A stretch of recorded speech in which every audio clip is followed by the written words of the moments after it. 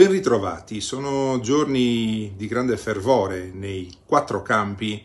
che si contenderanno la guida della regione nelle elezioni del prossimo 25 febbraio. Ormai definite le candidature a presidente, ammessa quella di Lucia Chessa che ha un'unica lista a suo sostegno, non ammessa invece quella di Maria Rosaria Randaccio che dunque non farà parte della contesa, ma ovviamente l'attenzione, con tutto il rispetto naturalmente anche per il quarto, anzi per la quarta contendente, è indirizzata verso i tre poli eh, che vanno per la maggiore. In assenza di confronti diretti, come abbiamo spiegato ieri, il sindaco di Cagliari Paolo Truzzo al fiere del centrodestra per il momento non intende eh, sottoporsi a confronti diretti con i suoi antagonisti, dicevo in attesa comunque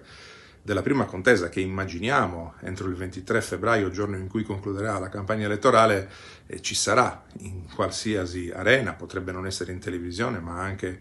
eh, davanti a platee eh, di associazioni organizzate. Dicevo, in attesa di tutto questo, eh, dobbiamo seguire anche il tipo di comunicazione eh, che le varie compagini stanno effettuando. Eh, il centrodestra, come immaginabile, schiera forte la Presidente del Consiglio Giorgia Meloni, che ha un'immagine in questo momento molto popolare. Oggi il principale quotidiano sardo recava eh, una pubblicità a tutta pagina, l'ultima pagina, forse quella che ha più visibilità, proprio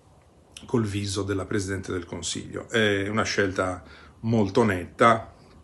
d'altra parte le ultime elezioni regionali